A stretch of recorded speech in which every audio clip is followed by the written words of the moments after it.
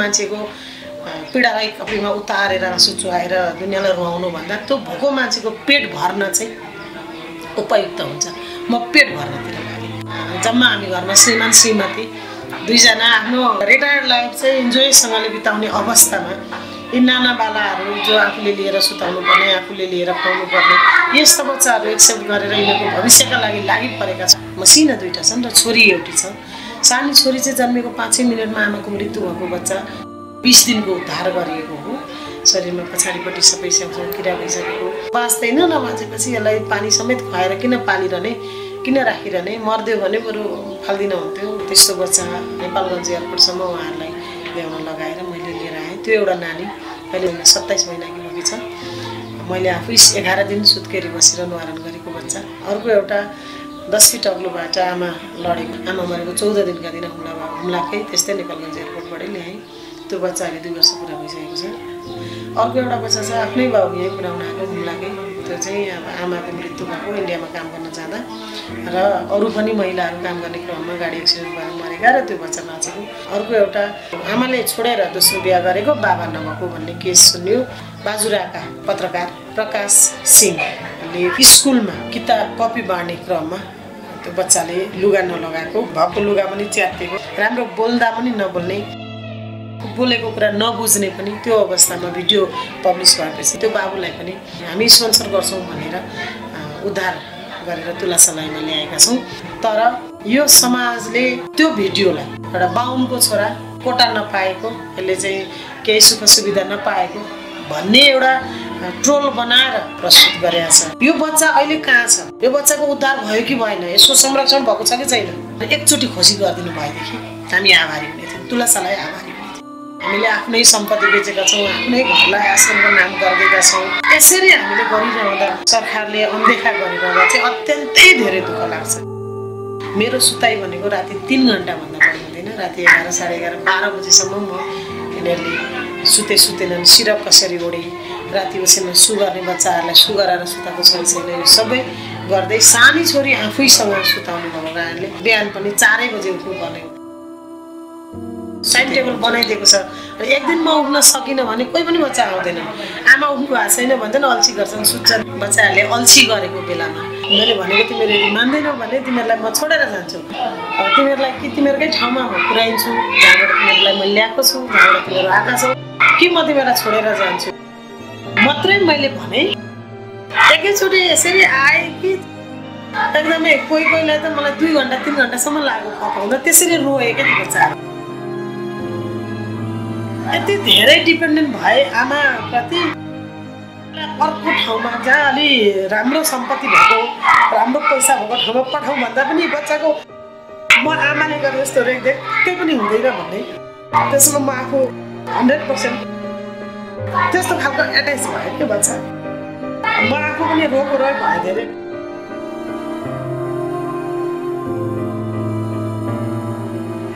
हामीसँग एकजना वरिष्ठ डक्टर डक्टर भगवान् भक्त श्रेष्ठ जो धनकुटा निवासी उद्धार गर्ने अलरेडी नौ वर्ष सडकमा अलपत्र पर्नु भएको छ डाक्टर साहब। अठाइस वर्ष नेपाल सरकारको जागिर खाँदै गरेको क्रममा। मानसिक रोगबाट विक्षिप्त हुनुभएको अत्यन्तै कठिनाइका बावजुद ठिक हुनुभएको छ राम्रो छ। हामीसँगै हुनुहुन्छ। सरकारका कुनै पनि निकायले प्रदेशले सरकारले वडाले नगरपालिकाले कसैले पनि सपोर्ट गरेको छैन। कसैले सहयोग गर्छु भनेर संस्थामा हालेको पैसाहरू त्यो पैसा सहजीकरण गरेर निकाल्ने अवस्था पनि छ यति धेरै अङ्कुश लगाइएको छ कि छैन सरकारको नीति के हो सरकारले गरेको के हो। यी बालबालिका मेरा मात्रै होइनन् यी देशका कर्णधार हुन्। भोलि देशलाई बनाउने योद्धा हुन् जस्तो सकिन्छ। एउटा त्यो सहयोग गरौँ। अर्को एक व्यक्तिले एक छाक खाना वर्षमा एक छाक खाना खुवाइदिउँ तुलसालाईलाई शान्ति एक छाक खाना धेरै परेन। हामीलाई एक व्यक्तिले एक छाक खानाको पहल एउटा अभियान चलाएर सहयोग गऱ्यौँ भने हामीले त्योबाट आएको पैसा मुद्दतीमा राख्ने बित्तिकै त्यहाँबाट भएको ब्याजले यिनीहरूको बाँकी खर्चहरू हामीले टार्न पनि सक्छौँ। यति धेरै छोराछोरी छन् कोही बेला हामीलाई खाद्यान्नको अभाव हुन्छ। यिनीहरूका अगाडि बसेर रुनु त मेरो सबैभन्दा कमजोरी पक्ष हुन्छ। म एक्लै एक्लै मध्य रातमा बसेर रुन्छु त्यहाँभन्दा दुःखको कुरो अरू केही हुँदैन। हिजोका दिनमा मैले यो कार्य नगर्दा पनि कतिपय आश्रमहरूमा एउटा डोनरको रूपमा म आफू पनि उभिएकी मान्छे हो। आश्रमहरूले कमाइ खाने भाडो बनाउनु भन्दा पनि जे आवश्यकता छ त्यो आवश्यकतालाई परिपूर्ति हुने हिसाबले हामी अगाडि बढौँ। आवश्यकता आफ्नो होइन कि? यी उद्धार गरिएका व्यक्तिहरूको लागि चाहिँ माग गरौँ र सरकारले पनि निरीक्षण गरेर त्यसमा अनुगमन टोली खटाएर आवश्यक परेका ठाउँमा चाहिँ सपोर्ट गर्ने एउटा प्रावधान बनाइदिए। हामी जस्ता राम्रो काम गरेका मान्छेहरूलाई सहजीकरण गरिदिनमा चाहिँ किन हिचकिचाउँछ सरकार? त्यो आफ्नो ठाउँमा छ। यति धेरै कठिनाइका बावजुद पनि हामीले गरिरहेका छौँ। त्यतिखेर चाहिँ साह्रै दुःख लाग्छ कस्तो दुःख लाग्छ भने यी टुक्रा बच्चाहरूको त केही दोष छैन नि यतिका धेरै छोराछोरी एउटी आमाले संरक्षण गर्न सकेकी छे यहाँभन्दा ठुलो खुसीको कुरो केही हुँदैछ त्यो खुसीको क्षण मैले प्रस्तुत गर्दै जाँदा म रुन पनि सकौँ कोभिडमा राहत वितरण गऱ्यौँ यो क्रम जारी रहँदा सडकमा अलपत्र परेका जो कोही बालबालिकाको क्षेत्रमा होस् मानसिक रोगीको क्षेत्रमा होस् वृद्ध बाबाको क्षेत्रमा होस् कसैलाई पनि विभिन्न आश्रमहरूले चाहिँ उद्धार गर्ने पहल नगरिदिएपछि हामीले तुलसालय नाम दिएर आफ्नै निवासलाई आश्रम बनाउनु पर्ने बाध्यता भएको हो यो चाहिँ दुई हजार सतहत्तरको भदौ पछाडिबाट तुलसा देवी हरियर फाउन्डेसन चाहिँ दुई हजार उनसत्तरी सालमै स्थापना थियो। कोभिडले चाहिँ तुलसालाई जन्माएको। हामीले यहीँबाट सुरु गऱ्यौँ ललितपुर पच्चिस नखुटोल जुन मेरो निवास यहीँबाट हामीले राहत वितरण गरेका थियौँ र हाम्रो तुलसा देवी हरियर फाउन्डेसनको केन्द्रीय कार्यालय दर्ताको यहीँ हो। अब ठाउँ सानो छ एक त बच्चालाई खेल्ने उफ्रिने बेला हो यो होइन? इङ्गेज हुने बेला हो। हामीसँग स्रोत साधन आर्थिक चाहिँ बिल्कुलै हामी जिरोमा छौँ। यी हामीसँग अहिले रहेका बच्चाहरू जति छन् तिनीहरू चाहिँ एकदमै राम्रो शिक्षा दिन्छ स्वास्थ्यमा पनि त्यस्तै अबल भएर अगाडि बढ्नु पढाइमा पनि राम्रो होस्। कसैले बच्चा आश्रममा हुर्केका छन् आश्रमका हुन् भनेर औल्याउने अवस्था नरहनु कोही बेला बेलुका म दस बजे पनि फर्केको हुन्छु। कतिपय बच्चाहरू त नसुति बसेको हुन्छन् आमा आउनु भएको छैन।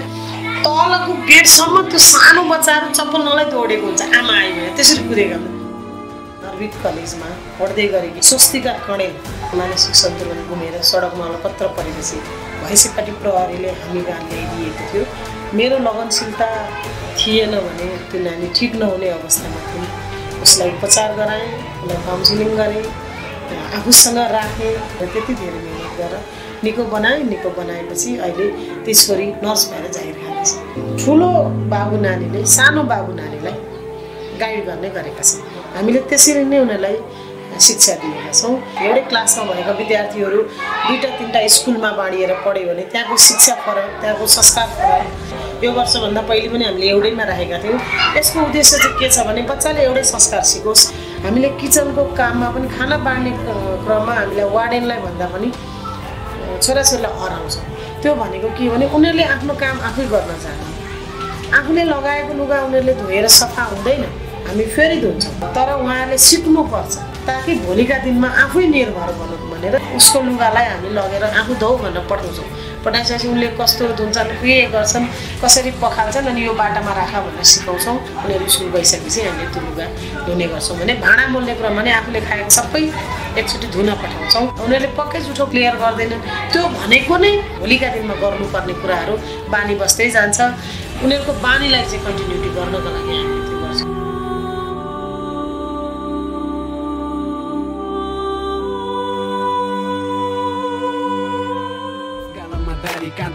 जिम्मेवारी उठाउनलाई त्यसको बारी हामी हर्चन तयारी लुक द किप काम बी अ मेम्बर अफ दारी ग्याङ